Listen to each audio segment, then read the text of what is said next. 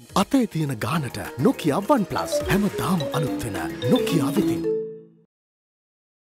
විනෝද චාරිකාවක් සඳහා යාල ප්‍රදේශයට ගොස් කිරින්ද වෙරළතීරයේදී සැඩ පහරකට හසු වී මියගිය හැටන් ප්‍රදේශයේ පියා සහ දියණියන් දෙදෙනාගේ දේහ ඊ රාත්‍රියේ හැටන් සාත්තු නිවාසපාරයේ පිහිටි ඔවුන්ගේ නිවස වෙත රැගෙන එනු ලැබුවා.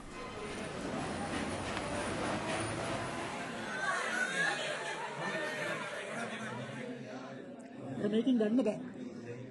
මෙම අනතුරින් ජීවිතක්ෂයට පත්වයේ නුවන් ඉන්දික විජේසූරිය පියා හයහැවිරිදි සහ සිව්හැවිරිදි ඔහුගේ දියණියන් දෙදෙනයි.